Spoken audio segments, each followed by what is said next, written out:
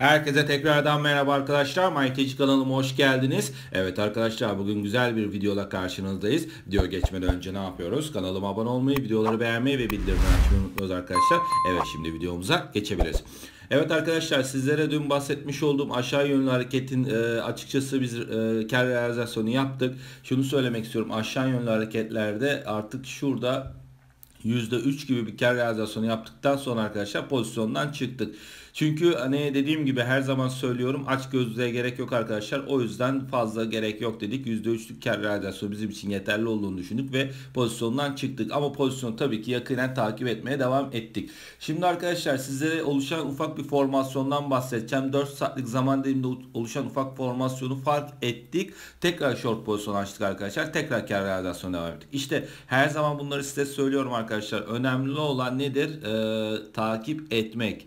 Yakından yakından takip etmek arkadaşlar. Yani anlık hareketlerden kesinlikle uzak durmak gerekiyor. 3 ee, saatlik zaman dilimi, 4 saatlik zaman dilimi, 1 saatlik zaman dilimlerinde pozisyonları kesinlikle yakından takip etmek gerekiyor arkadaşlar. Ee, şimdi tabii burada oluşan bir ufak bir formasyon var. İkili tepe formasyonu var arkadaşlar. Hemen ikili Şöyle göstereyim. İkili tepe formasyonu oluştuktan sonra nedir zaten e, olması gereken şey aşağı yönlü hareketlerin devam etmesi. İşte bunları kaçırmamanız gerekiyor arkadaşlar. Bakın hem direnç bölgesindeyiz hem ikili tepe formasyonu oluştu.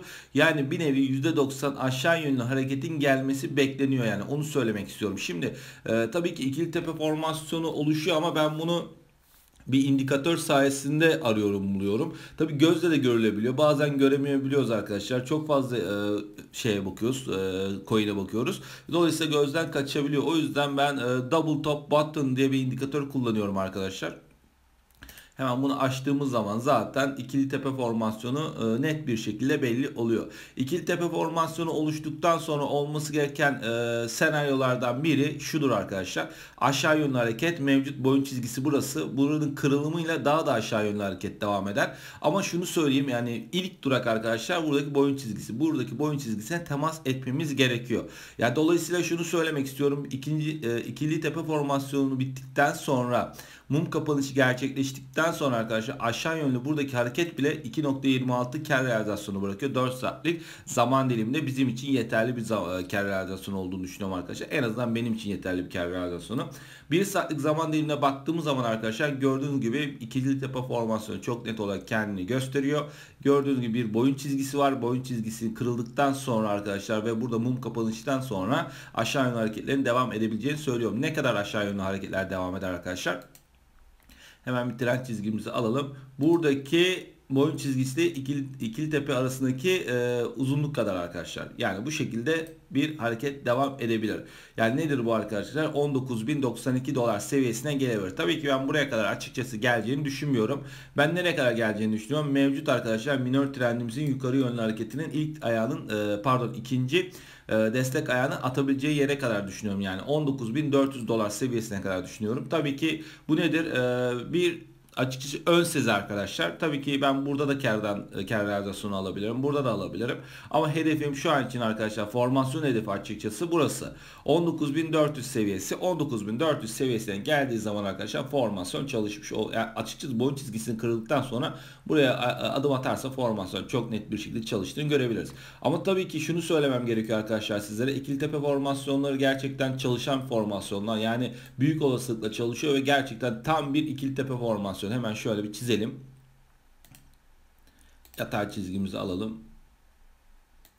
Aynen bakın tam ikili tepe formasyonu. Yani o kadar net bir şekilde ikili tepe formasyonu çalışmış ki yani açıkçası arkadaşlar bunu kaçırmamanız gerekiyor. Onu söylemek istiyorum. Yukarı yönlü bir minor trendimiz var. Ee, gördüğünüz gibi birinci ayağını buraya atmış. Burada bir e, dokunuş var. Ondan sonra ikinci ayağını da atması gerekiyor. Yani şöyle söyleyeyim arkadaşlar açıkçası yukarı yönlü çıkan bir trend çizgilerinde e, trend bölgelerinde kesinlikle e, arkadaşlar kademeli olarak trend çizgisine yani e, temas etmesi gerekiyor. Birinci temas, ikinci temas, üçüncü temas diye hareketlerin devam ederek çıkması gerekiyor. Yani tek temasla da çıkabilir. Tabii ki tek temasla da e, bayağı bir yol kat edebiliriz. Ama kesinlikle arkadaşlar bir satış, bir kar realizasyonu almamız gerekiyor. Yani e, ben buradan örnek veriyorum burada bir long işlemi girdim. Evet buradan 30 bin dolar kadar çıkacak diye düşünmek yanlış olur. Çünkü kesinlikle bir kar realizasyonu almamız gerekiyor. Şimdi şunu söylemek istiyorum arkadaşlar. İkili tepe formasyonlarında hem direnç bölgesinde e, olduğumuz için hem de ikili tepe formasyon oluşumu gerçekleştiği için artık ben burada açıkçası şöyle söyleyeyim sizlere arkadaşlar.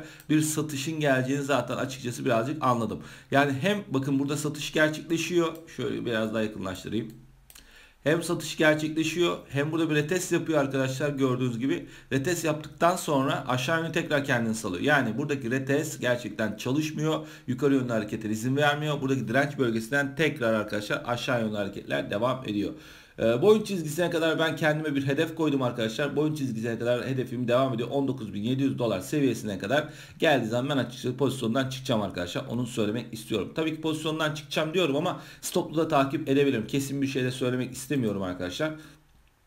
Hemen şuradan Mesela şuraya kadar ne kadar yaptı? 2.35.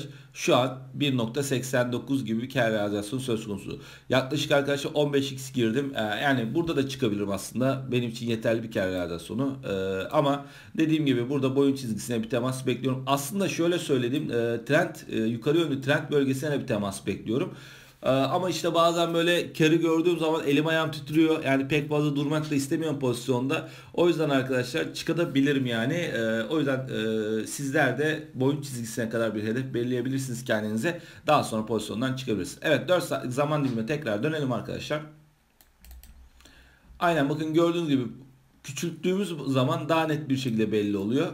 Küçülttüğümüz zaman daha net bir şekilde belli oluyor arkadaşlar. Bakın yukarı yönlü güzel bir trendimiz var. Bu trendimizde birinci destek, ikinci destek, üçüncü destek, kırılım ve yukarı yönlü hareket. Ben böyle bir hareket, böyle bir senaryo bekliyorum arkadaşlar şu an için. Oluşan senaryolar bu, bu yönde. Çünkü yukarı yönlü tek bir hacimli mumla yukarı yönlü hareket gelmedi. Yukarı yönlü hareket gelmediği için gördüğünüz burada satışımızı yiyoruz. Satış yedikten sonra de, nedir burası? Burası sağlam bir direnç bölgesi arkadaşlar. Sağlam bir direnç bölgesi karşımıza çıktığı için dolayısıyla aşağı yönlü hareketler gelecek. İşte ilk temas, pardon ikinci temas 19.500 dolar seviyesine olmasını bekliyorum arkadaşlar. Hatta 19.400 e, dolar da olabilir. Aşağı da olabilir arkadaşlar hiç fark etmez. Hatta şunu söyleyeyim ben size. Major trendimiz var ya şurası kırıldı. Major trendimize de bir temas gerçekleşebilir. Yani retestimizi burada tamamlayabiliriz. 19.000 dolar seviyesine de tamamlayabiliriz arkadaşlar. Buradan tekrar hareketler yapabiliriz. Şimdi o yüzden takip etmenize fayda var arkadaşlar. Özellikle double e, double top button indikatörünü kesinlikle öneriyorum arkadaşlar. Zaten e, göstergeler ve strateji bölümüne çıkıyor. Hemen şöyle yazın. Aynen. Double top button. Bakın buradan e, buradan seçebilirsiniz arkadaşlar. Bir saniye.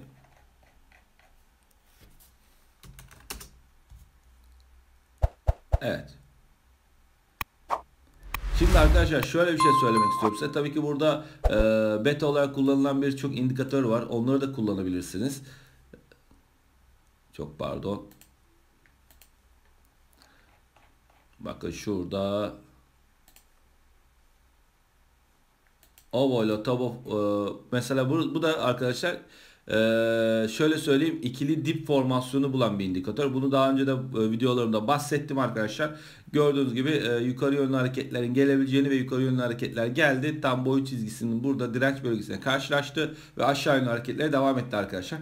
O yüzden şu an ikili tepe formasyonu çok güzel çalıştı. Aşağı yönlü hareketlerde bize 2.28 gibi kar realizasyonu söz konusu oldu. Yukarı yönlü hareketlerde gelebileceğini söyleyebiliyorum. E, yukarı yönlü direnç bölgesinde İkinci satışımızı yedik arkadaşlar. Aşağı yönlü hareketler devam edecek. Şunu da söylemek istiyorum özellikle arkadaşlar. E, çok fazla istekli olduğunu görüyorum. Yukarı yönlü harekete doğru yönelmesi e, istiyor Bitcoin'in. Yani direnç bölgesine çok kısa zamanda iki temas gerçekleşti. Aşağı yönlü bir kar satışı ondan sonra tekrar üçüncü temas ve kırılım diye bekliyorum arkadaşlar. Evet bir sonraki videoda görüşmek üzere. Kendinize çok iyi bakın. Kanalıma abone olmayı, videoları beğenmeyi, yorum yapmayı unutmayın arkadaşlar. Bu, bu şekilde fırsatları da bence kaçırmayın. E, direnç bölgesinde oluşan ikili tepe formasyonu gerçekten güzel kar realizasyonu almamıza neden oluyor. Bu fırsatları kaçırmayın arkadaşlar. İndikatörümüzde bu fırsatları bulabilirsiniz. Kendinize çok iyi bakın. Hoşçakalın. Kaçırmayın arkadaşlar.